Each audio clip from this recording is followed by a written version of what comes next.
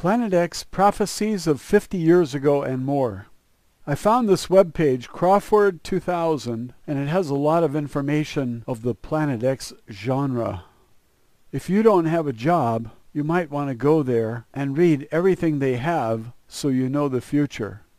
I'm reading Dino Kraspedon's book for this channel. The title is My Contact with UFOs. Dino Kraspedon met the captain of a flying saucer in 1952, published a book about it in 1957, and the captain came to his house. Dino Kraspedon is his pen name. His real name is Aladino Felix, born in 1905. He died in 2004. Today is November 25th, 2014, two days before Thanksgiving. So he died 10 years ago at about age 99. In his book, he was told by the captain that the Earth changes in pole shift would take place at the end of the century, around the year 2000. Poor Dino hung around four more years waiting for this to happen, and he died before the pole shift. As I read the predictions of several people, you will see that some say that the date depends upon us. If we lean towards spirituality, then the pole shift doesn't have to happen. But if the war criminals remain in control, then most of the people on the planet will die. That's what the prophets say. I'm reading all I can find to know what they say because I'm not a prophet. Let's get into the write-up on this page and pay attention to the items on the left. If one interests you, the link will be in the video description. The author writes, Here are some of the more remarkable prophecies. In 1919, a German woman medium, known as the Dresden Pythia, predicted a great war between Japan and America, as well as a new European war. Apparently, her patriotism overshadowed her prophetic accuracy, for she predicted that Germany would be the victor over France and England. We may presume that post-war German resentment against the French and English also colored this prophecy. Well, I disagree, and here's why. I have read from multiple sources that Germany did win and that the U.S. obtained the designs for a time machine when Nikola Tesla died. They built it. They did something called the Pegasus program. Andrew Basiago said he time traveled. Larry Solars said he time traveled. Andy Pero said he time traveled. And one of the things that Andy Pero said he did was he traveled back to World War II and provided the Allies with information so they could win the war. And they did. The South won the Civil War in America, and there are people who went back and helped the North win against the South. The South had a much bigger army, much stronger army. They were much more capable. They were fighting on their own turf, and they were fighting for their lives. And the people who caused the upset did so because they knew the battle plan. And they went back and fed erroneous information to the Southern generals so they would lose. Is this all true? I have no idea.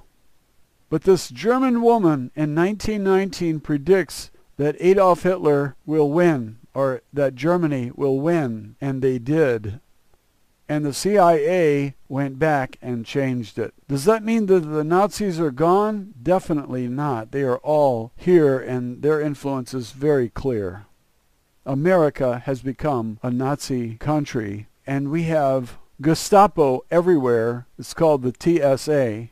It's getting worse and worse. And even if you get in a time machine and go back and change the outcome of a war, it doesn't change what happens to the people. They still wind up under a Nazi regime.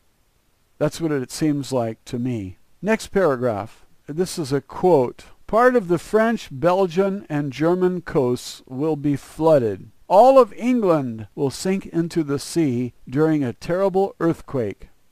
At the same time, there will be a re-emergence of a great continent in the region of the Azores, the old Atlantis. There will be found traces of an ancient culture. They've already found it. Near Cuba, they tried to keep it secret. but the military was involved and some people talked, and now it's out. So this prophecy, there will be found traces of an ancient culture, has already borne out true. It says, also at other places will new land emerge from the sea. Many people are predicting that.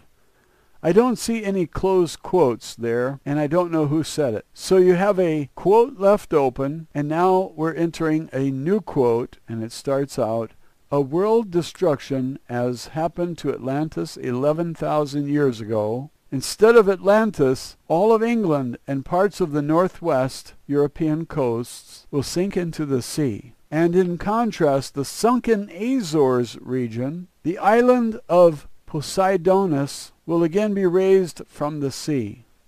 By comparison, Cayce predicted that the island of Poseidia, which he located in the Bahamas near Bimini, would rise from the sea in the late 1960s. Boy, is that island late. It's more than 50 years late. Next paragraph. During World War II, an Englishman, Lewis Spence, counter-predicted the Dresden Pythia in his book. Will Europe follow Atlantis? Spence predicted that a tilting of the Earth's axis would cause the European continent to sink, a punishment for waging war against the British. In 1921, a German writer, George Lomer, in his book Coming World Catastrophes, cited a Harvard University study to prove his theory that Atlantis had already started to rise.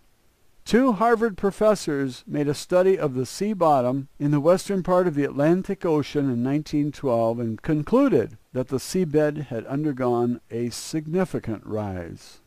Either Lomer was taken in by a hoax, or those professors really do bear the singularity unfortunate names of Dr. Liar and Dr. Deluder. In fact, though, the Atlantic seabed has been rising along the mid-Atlantic ridge. England's most noted prophet in the early part of the century was Count Louis Hamon, H-A-M-O-N, who wrote under the name of Cheiro, C-H-E-I-R-O. In his 1927 book, Cheiro's World Predictions, he correctly prophesied that Germany and Italy would go to war against France and England. Here is what he predicted about earth changes and Atlantis. Quote, During the coming 50 years, an earthquake zone will develop in a northeasterly direction from the Pacific coast of Peru, passing through Panama and Mexico, through northern states and Canada to the Arctic regions. Wow. I wonder if that is the New Madrid fault line I have seen animations prepared by someone by the name of Konstantin from Moldova. He gets his information from ZetaTalk, and he showed the USA splitting down the middle, an area from Lake Erie to Houston. And on the right side, the east side, that section goes north and east. On the left side, the west side, that portion goes south and west. And as you know, ZetaTalk predicted earthquakes in Japan prior to the New Madrid fault. Those Japanese earthquakes would be in the vicinity of 9 on the Richter scale. And after Japan has a couple of those, then the New Madrid breaks. And Edgar Cayce said that the Great Lakes would empty into the Gulf of Mexico. And many people have predicted that the Mississippi will be 50 miles wide and that it will be salt water and that salt water will go all the way to Chicago. Is this true? I have no idea. The next paragraph says eastern cities of North America will be seriously affected and a considerable part of New York will be destroyed. Now, the problem here is we don't know if he's talking about New York State or the city of New York. It is New York, New York. There was no close quote on that last paragraph, and here's a new quote. During the next 50 to 100 years, after a series of devastating earthquakes, the islands of the Azores will rise from the Atlantic and the ruins of the long-lost continent of Atlantis will be discovered and explored. Unquote. Next paragraph. medium Anthony Neate, N-E-A-T-E, channeled an entity named Helio Arcanophus, A-R-C-A-N-O-P-H-U-S, who claimed to be a king of ancient Atlantis. Neate's group called the Atlanteans had in 1957 published a prophecy by Helio Arcanophus about Earth changes and Atlantis. Now there's a colon and then there's this long quote which says, Events will work up gradually. There will be earthquakes where they are not normally experienced. Volcanoes will become active which have been extinct for centuries. Abnormal weather conditions will prevail, getting worse as time progresses. The seasons will appear to have no more significance, for there will be warm days in winter months and cold days during the normally warm periods of your year. A substance commonly known as black rain will fall from the skies, and there will be considerable chaos. Now, black rain sounds like petroleum products, and Zeta said that these clouds that surround Planet X are methane and petroleum basically. They're carbon. Carbon is like coal. It's black. I mean real black. Black rain, does that mean black like coal? If so, that is very black. It's probably carbon based and carbon is coal and carbon is also petroleum. So black rain is supposed to fall from the skies and there will be considerable chaos. When these events have risen to a crescendo, the Earth will tilt, which means pole shift. Most of the predictions I have heard were 90 degrees. And that comes from the Zetas. They fly the stars. We are told they have an IQ of 275 on average. That makes Einstein look like a fool. And if they say it's going to be a 90 degree tilt, it's not crazy. We have evidence that there was such a thing in the past. Elephants found in Siberia, where it is very cold, had tropical plants in their stomachs. They were flash frozen about 4,000 years ago. The South Pole has no ice that's older than 4,000 years. There was a pole shift about 4,000 years ago, it seems. Now, if you're reading all the time and you gather up all this information like I do, then there's reason to suspect that pole shifts take place every 4,000 years or so. The Zetas say the average is 3,657 years for the orbit of Planet X. They say Planet X is real and it's coming. Do I think it's coming? I think there's a lot of evidence that would suggest that they are correct and I'm just waiting until I see it in the sky before I fully believe because I've been a fool so many times in my life. This time, I want to be more careful. I want to hold off until I see it with my own eyes. People are telling me they see it. They see it in the mornings, they say.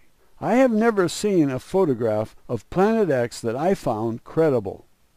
The Zetas are talking through Nancy Lieder, and Nancy Lieder has put photos of Planet X. I don't believe any of them are Planet X. When I see pictures of a double sun, I don't believe that either one of those is Planet X. But I'll tell you what I do believe. I believe that Einstein was right when he said that mass can curve light. And then there was an eclipse, and he proved it. The stars seemed to jump. They would be in a certain position for a while, and then suddenly they would just leap over. That's the bending of light. When the light is no longer influenced by the object that's passing, it doesn't bend. And so there was a leap in the position of that star. And I think that's what's happening on the sun. You're seeing the sun twice. It's not two suns. You're seeing the sun twice. And it's because of the bending of the light. Now, what could bend the light? A massive object like a dwarf star. How much mass does that star have? Because we have a lot of planets, and they have mass also, and Jupiter has a whole bunch of mass. You know, in the solar system, 98% of all the mass is in the sun, and about 1.5% is in Jupiter. That leaves all the rest of the planets to divide up what's left. It's about one half of 1%. There isn't much mass other than Jupiter and the sun, and the sun is the 800 pound gorilla. So if Planet X is real, that would explain why we're seeing a double sun. It's the bending of light. That's my humble opinion. Do your own research to reach your own conclusion. Now, I want to read that again. I have to read two sentences because the second one refers to the first one. A substance known as black rain will fall from the skies, and there will be considerable chaos. When these events have risen to a crescendo, the earth will tilt. Many lands will disappear beneath the boiling seas, and some will rise from their watery resting places. Among the latter will be the island continent of Atlantis, a land which never completed its evolution and will soon return to do so. End of the quote. Now when he says beneath the boiling seas, we can take that literally and he means the water gets so hot it boils and that would be not the entire oceans there's seven of them it would probably be little places here and there like in hawaii you see the rock coming out of the ground is red hot and it's boiling the water nearby, but it doesn't boil it for miles and miles and miles out. He might also be referring to the seas figuratively, saying they're broiling. I think the correct word might be roiling, R-O-I-L-I-N-G. When someone says boiling seas, you can take it literally or you can take it figuratively. I don't know which he means. Many lands will disappear beneath the boiling seas. Does he mean tsunamis that come in and cover land? Does he mean the polar caps melt? The South Pole has two miles of ice, and if that melted, sea level all over the planet would rise 200 feet. And then you add to that what the Zetas have advised, that the water will warm up and that it will expand, and that sea levels will rise 675 feet. And I get so many comments from people who live near the coast, and they ridicule me for repeating what I have read. Some of them tell me they want to buy up all of the houses along the coast when there's panic selling because they don't believe this. The people are obviously fools. If they see all of this evidence that we have been seeing, and it cannot be faked, it is not a hoax. Earthquakes and volcanoes are not a hoax. End of story.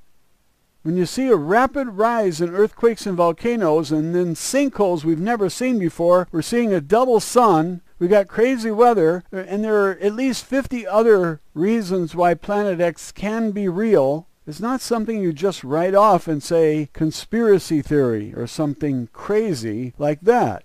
We all have a duty to collect the facts. We have a duty to hold off our conclusion until we know for sure what it is and play a very conservative game with your own reputation. Don't commit to anything. Just collect the facts until the facts scream Planet X. When you look up in the sky and you see a planet or a group of planets or a dwarf star in some planets, or you see heavy rocks falling to Earth from this tail of this group of planets and dwarf star, it's pretty safe then to say Planet X is real.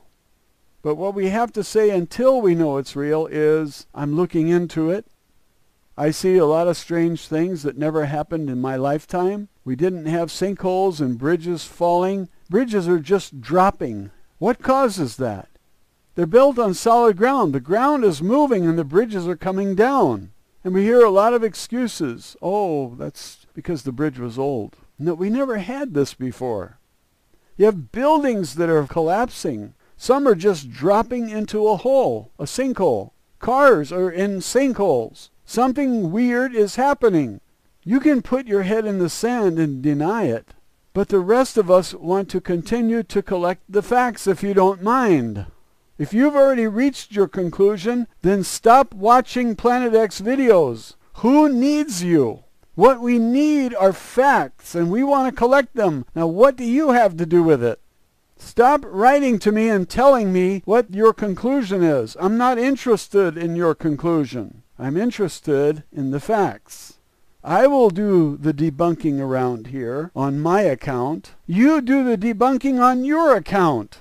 I want to look into this. I want to know what the truth is. I don't rely on anybody to do my thinking for me or conduct my analysis. I will do that. And I hope that you say that you will do that. Each of us must do it because our lives depend on it. And even if you discover that there's a planet X, it's real, the Van Allen belt is going to drop, we're going to get radiated with microwaves here on the planet, and a lot of people are going to die. If that turns out to be the case, you probably won't survive. If you're chicken to die, what choice do you have? You act like we're killing you because we're observing here what's going on, collecting the data. The government seems to be hiding it all from us. They're afraid that their investments are going to fail. We're not going to buy their products and we're going to buy something else instead, something like canned food or dry goods. If they shut off the water, there's no food. Gasoline pumps and diesel pumps work by electricity. We did not develop a backup system. We don't have auxiliary power in the quantities that we need. And so it's going to come down to who bought the food and stored it away. Now, the government wants to scare us because they want that food for themselves. And so they told us that if we stock up more than seven days of food, we must be a terrorist. No, they are the terrorists. They are the ones who pulled off 9-11 and all the false flags, like the Boston Massacre and this Batman movie theater. They are responsible for all of the major events that we've heard about in our lifetime. And they've gotten away with it because they lied to us. They are behind all of the influenza viruses. I just completed a video about that. It shows that the viruses are man-made. H1N1 is made of human flu, bird flu, and pig flu, and it was a splice job. That's what those who study this say. It was a splice job. They cut and pasted genes in order to make a deadly virus. They're trying to kill us. Can you tell? Look at your food. Look at your water. They're putting chemicals in your food. They're putting fluoride in your water. They're dumbing down your schools. They're spraying the skies with things that attack your immune system, weaken it, barium, nano-sized barium. They're causing Alzheimer's disease with nano-sized aluminum. It's in the form of aluminum oxide. They're spraying us with strontium. What for? There isn't any sane reason why. They tried to kill 2 billion people with H1N1 and H5N1. These are two man-made viruses. H1N1 has three parents from two different continents. More recently, they tried to kill us with Ebola virus. Now, do you think a government like that is going to tell us the truth about Planet X? Don't count on it. Okay, so we just finished the quote which says that Earth is going to tilt, many lands will disappear beneath the boiling seas, and some will rise from their watery resting places. Among the latter will be the island continent of Atlantis, a land which never completed its evolution and will return to do so. Next paragraph. As to the time of these events, Helio Arcanophus said, Within most of your lifetimes, for your children will rule Atlantis. If Atlantis pops up in the ocean, I don't think anybody should rule it. It should be one nation where the people are free. Free from the controls of the Nazis and the governments.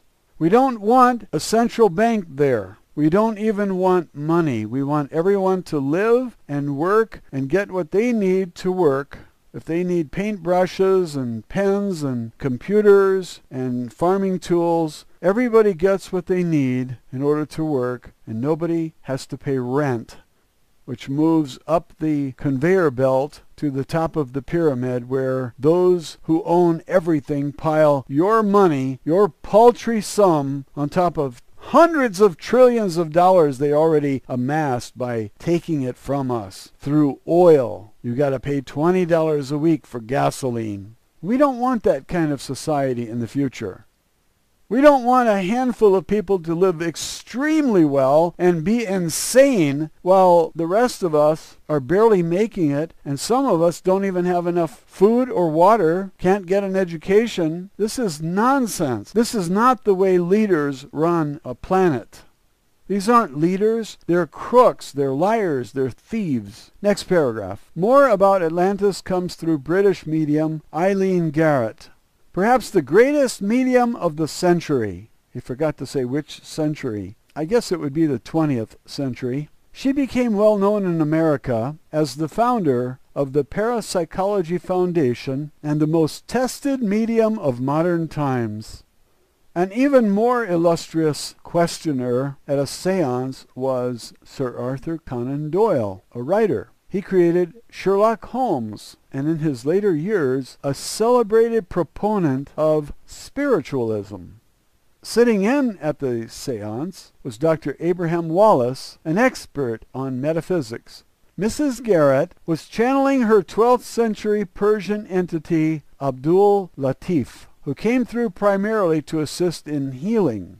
The seance was published in the book Health in 1928 by R. H. Saunders, a physician who consulted with Abdul Latif about his patients. Now that's very interesting. Sir Arthur Conan Doyle asks, quote, Can you give me any approximate date for the sinking of Atlantis? Unquote. Abdul Latif says, quote, It is not really true to say that the Atlantean people could not make records. Many of these records will one day be found by you. And there must have been something like 15,000 or 16,000 years from the time of my own life which was the 12th century, to that of the lost races of the Atlantean civilization. Many people will tell you that Atlantis disappeared so quickly. That's not true. There was a series of three cataclysmic eruptions that caused the gradual disappearance of land, and then in brackets, Cayce also said that there were three destructions of Atlantis. Well, you know, when you have a interjection like that, you should give the source, the date, or the exact quote, and it looks more credible that way. All right, I don't see any closed quote again. Somebody is very careless here with the closed quotes. And the next paragraph is another quote. It says, There are great monuments, tombs to be opened. There will be cataclysms that will bring up to you from the bottom of the sea that which I swear in the name of Almighty God to be true. Unquote. Dr. Abraham Wallace said, quote, I was told that in the early days they had airships, and they drove their airships by means of etheric energy. Unquote. And Abdul, the Persian, Abdul Latif, said, there's no starting quote, I presume it's after the colon. I do not say that they had airships, but they had means of flying. They also had means of producing light from the etheric force, which is equivalent today to the electric energy. Dr. Abraham Wallace then says, quote, I understand that the utilization of that etheric energy for evil purposes was the cause of the first catastrophe in Atlantis and that today on the continent. There are some people who have attained to a certain knowledge of that, and if they utilize it as they propose to do, there will be a tremendous catastrophe, end quote. And Abdul Latif says, quote, I assure you of this, that you are quite right in what you hear of the possibility of cataclysmic catastrophe. As soon as a nation, be it great or small, attains a certain degree of knowledge, that knowledge is very often a two-edged sword in the hands of the ignorant. Unquote. Next paragraph. A sobering prophecy, one that reminds us that Germany had initiated work on the atomic bomb, though it was the Americans who first developed the energy capable of world destruction. Cayce also said that the destruction of Atlantis was caused by the misuse of powerful energies. Abdul Latif agrees with Cayce. the Dresden Pythia, and Cheiro in prophesying a rediscovery of Atlantean ruins as well as the familiar catastrophe. Well, not far from Cuba, they already discovered underwater many artifacts, including a machine that's been running for 2,000 years. And I don't know how it runs, but I expect them to reverse engineer it and weaponize it because that's what they do with everything they get their hands on. They shoot down alien ships who come here for scientific study. They're not expecting to be shot down. The Russians also shoot them down. And then they try to back engineer them. And sometimes an accident causes an explosion. One happened in Area 51 and it killed about 12 scientists.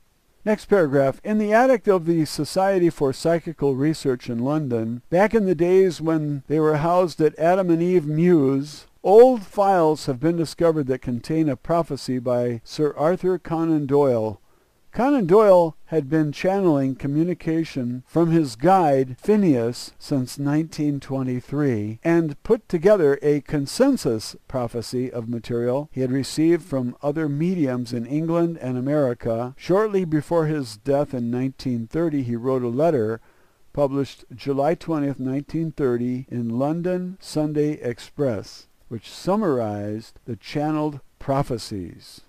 Ooh, this is good. Quote, if we state the course of events as outlined in these various documents and check them with our information, the result is overwhelming. It would entail a period of terrific natural convulsions during which a large portion of the human race would perish. Earthquakes of great severity, enormous tidal waves, would seem to be the agents. There is mention of war, but that would appear to be only in the early stages and to be in some way the signal for the crisis. I think there is an end quote that he should have put there and it's not there. Then he starts a quote, the following details may be gathered. And I don't understand why there's a quote there. Then there's another quote starting the next sentence, and there is no end quote there either, that the crisis will come in an instant a start quote and no end quote, that the general destruction and utter dislocation of civilized life will be beyond belief. And another one, same thing, a quote starting the sentence and none to close it out. That there will be a short period of utter chaos followed by some reconstruction. And the same pattern here, no end quote. Quote, that the total period of the upheavals will be roughly three years quote, that the chief centers of disturbance will be the eastern Mediterranean basin, where not less than five countries will entirely disappear. Eastern Mediterranean basin. Now, would that be Tunisia, Morocco, Egypt, Libya? Eastern Mediterranean basin. I think you would have to go south because north it's all mountains.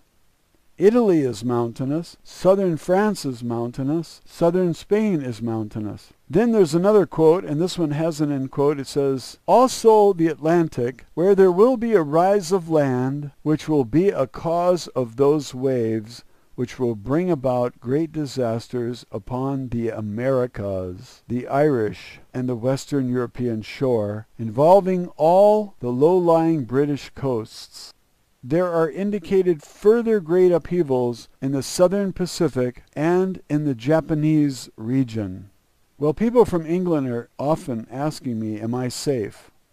And from what I understand, the highlands are safer than the lowlands, but that does not account for sinking. These prophets are saying that England will sink and much of northern Europe will be underwater.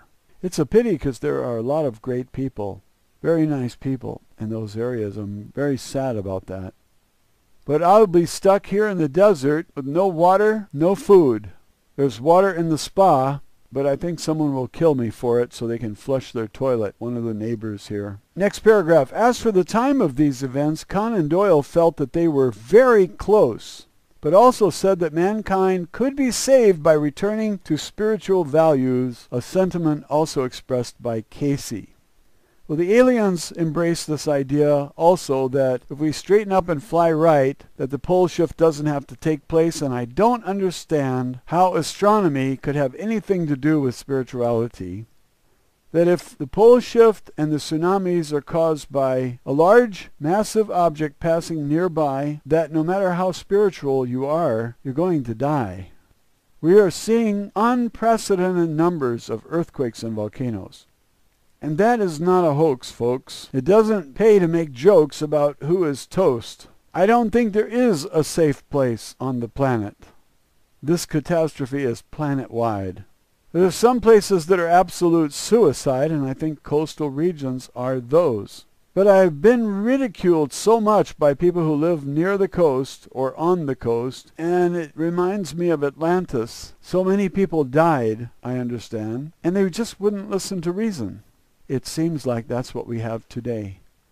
Next paragraph. From South America came similar prophecies of earth changes. A Brazilian living in Sao Paulo and writing under the pseudonym of Dino Kraspedon claimed that the following prophecy published in England in 1958 in My Contact with Flying Saucers was given him by a captain of a flying saucer. Like Cayce, he predicted the tilting of the Earth's axis, but gave us as a cause a warming of the North Polar ice cap that would redistribute the Earth's waters.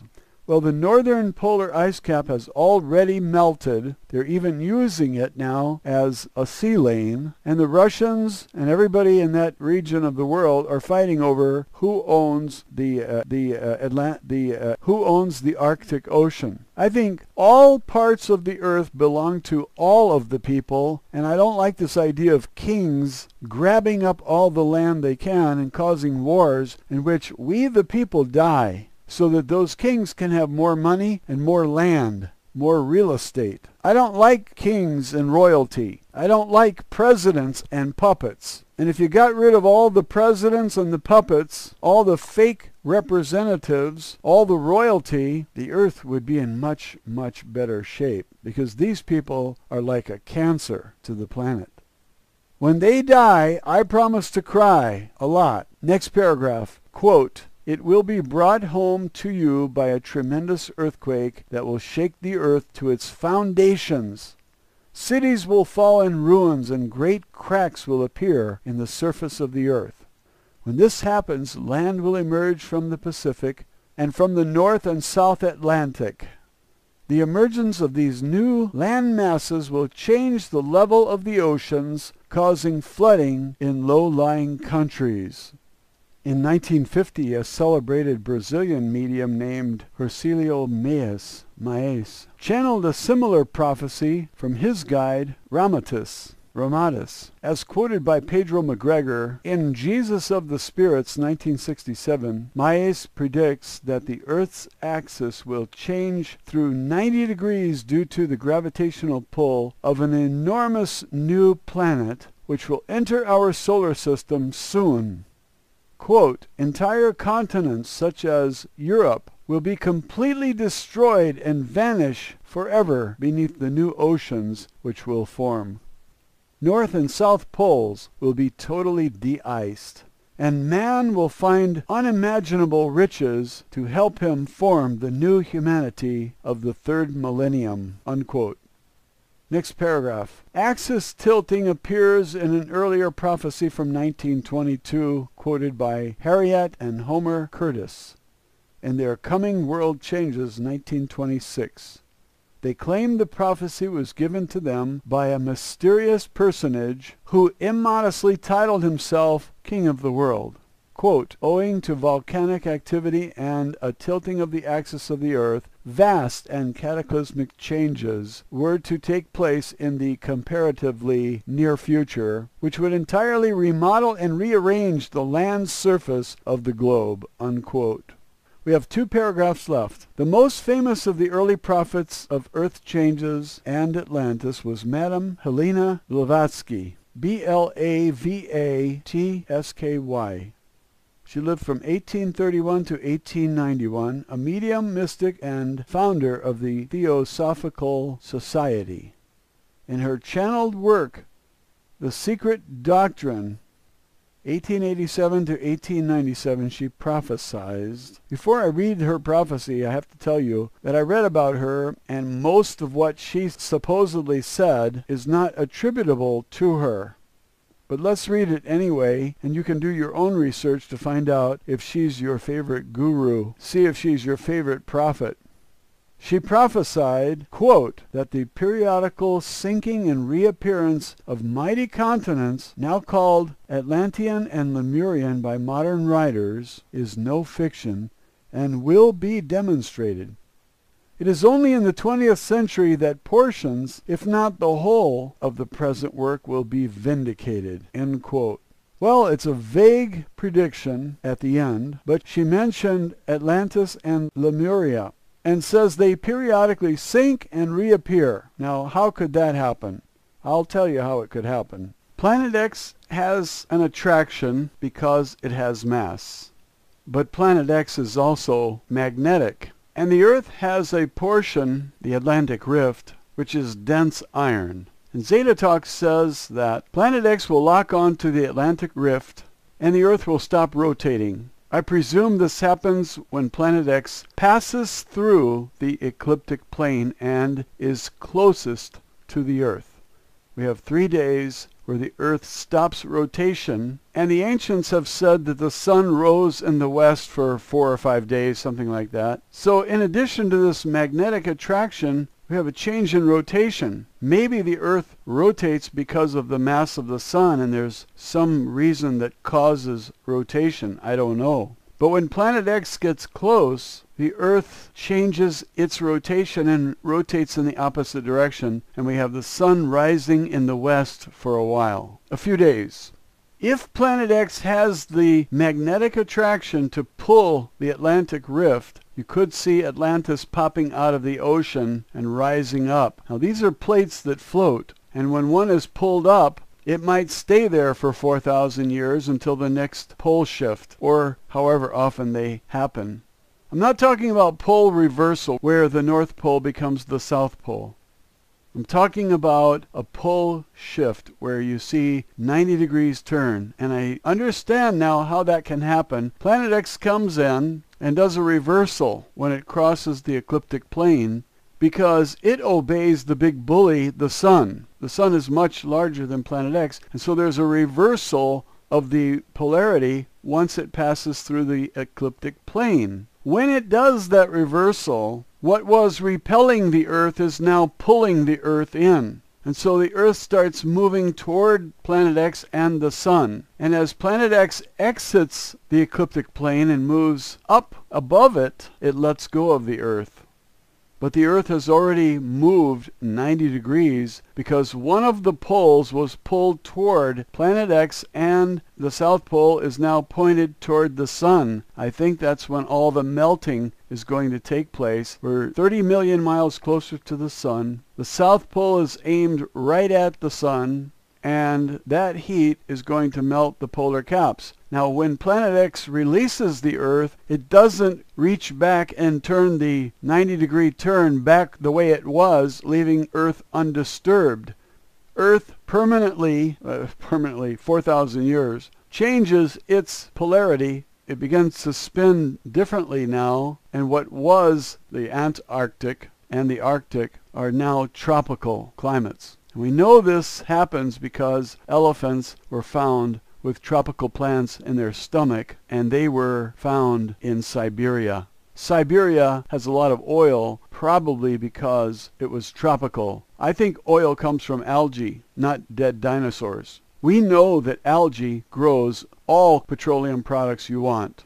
And some are right-handed and some are left-handed, and their chirality, that's what it's called, right-handedness and left-handedness is called chirality. Their chirality determines if plants and animals can eat it and use the energy. We can only use dextrose, or right-handed. We can't use the left-handed. They had a product years ago called Olustro or something like that, and they were putting it in food. We couldn't digest it, and so it gave people diarrhea. It was oil, but we couldn't digest it. So if you want to make french fries and you don't want to gain weight, you use Olestra. You eat the french fries, the oil doesn't digest because it's the wrong chirality, and it passes right through. Well, if your body's not absorbing those oils, when they get to the lower intestines, look out.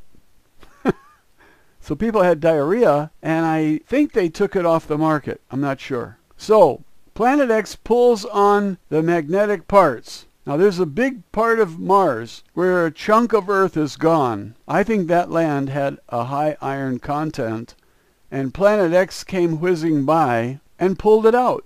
Scientists don't have an explanation for the big Grand Canyon that's 4,000 miles long. Mars is smaller than the Earth, and that Grand Canyon is 4,000 miles long. It could stretch from Los Angeles to New York, and it's much, much bigger than our Grand Canyon here in Arizona. So everybody forms their own opinions about what happened to cause things. And I say that big chunk of Mars that's missing was pulled out by Planet X not too long ago. Could be millions of years ago. That's not very much time. And the atmosphere was also sucked away. The aliens have told us that. The water is gone, but there's evidence that there was water. If Planet X passed close enough to Mars, did it suck away all the water along with the atmosphere? I think that's very possible. Only recently did scientists admit that the asteroid belt appears to have been a planet that got all busted up. When Planet X comes through, it's got a lot of debris. Some of that debris are mountains, and some could even be bigger, like planets or moons. And if one of them smashed into that planet that used to be between Mars and Jupiter, it could have shattered it, and we have the asteroid belt. Don't believe anything I say. If you want to consider it, that's okay. But I don't think we're going to get any science out of government. If they discover anything, they're going to keep it to themselves. They're not sharing anything. They want us to pay all the bills, but they're not going to give us any of the knowledge. And that's why I don't think we need a government. If Planet X comes whizzing past the Earth, and we have a North Pole and a South Pole, and what determines the North Pole and the South Pole? It's the orbit. If the, if the Earth is spinning, not the orbit, revolution on its axis, the rotation of the Earth causes the molten magma inside to move, and that creates a magnetic field. You have a North Pole and a South Pole. And when Planet X comes by, its North Pole repels our North Pole and as long as it's far away, we just have a wobbling. But when it gets closer and it passes through the plane of our solar system, all of our planets are located in a ring, like Saturn's rings, Neptune's rings, galaxy rings. The Milky Way galaxy is organized the same way. It's the same physics. They organize in rings and everything rotates around the large mass. In galaxies, that large mass might be a black hole. We don't know because no light comes out to tell us anything. And so all of our planets go around the sun in a disk, except Pluto, and it's not a planet anymore, so it doesn't matter. It's just a rock out there. It's a planetoid. And Planet X comes in on a weird orbit too. It is not in the plane of the rest of the planets. And so it comes in under the disk. We say under. Uh, there is no up and down in space. The Australians do not live on the bottom half of the world. It's just as correct to say they live on the top of the world instead of the bottom, but the Europeans decided that they were on top a long time ago and that put Australia on the bottom. But when you have gravity, Europe has gravity and Australia has gravity, so which one is up? Neither. It's another distortion of reality. But let's assume for a minute that the northern hemisphere is up and the southern hemisphere is down. Planet X comes in under the disk. It's called the ecliptic plane. And it passes through the ecliptic plane, and that's when the pole shift takes place. Because when it passes through the plane, its own polarity reverses. And instead of repelling the Earth, it now draws the Earth in. The animation I saw, it repelled Venus, and Venus went flying in a new orbit. And it pulled in the Earth. And then Planet X continued up and the Earth then was hurled out into space with a new orbit also, but it pulled the Earth in as far as Venus's orbit. And that's 30 million miles closer to the Sun. The normal Earth orbit is 93 million miles from the Sun. And when it gets pulled in one-third closer, do you think that's going to cause a warming of the Earth? Of course. It, we should be a lot warmer all over the planet. We are going to get a new orbit. We might be closer to the sun. I don't know. Those who do know are using math that we cannot do on this planet, we humans. And our average person is not walking around with an IQ over 200. The Zetas have an IQ of 275. Average. And Einstein was about 180. He looks like a fool. Their average person is almost twice as smart as he is. So they can figure out things that we can't figure out.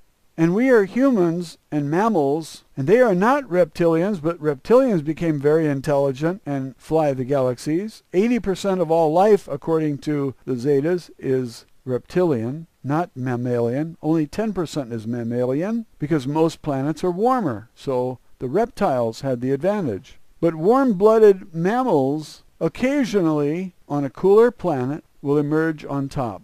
And the zetas, I understand, are derived from insects, and it's very possible that insects are highly intelligent.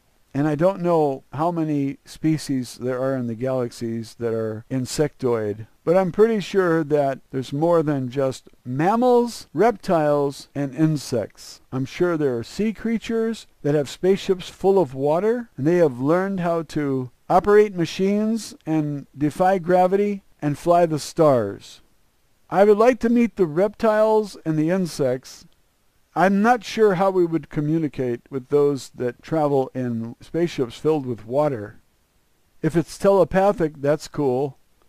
How close to us are they? I mean, do they think like we do, or do they see the world entirely differently than we do? It's a surprise that insects would see the world the same way we do. It's surprising to me that they would come upon mathematics and, and physics. But we have a lot to learn, and the last thing we should do is shoot down spacecraft because if we meet these people, it's a chance to learn. We need to be very peaceful people so that they want to live next door to us or meet us. They don't want to send in their best scientists and have us kill them.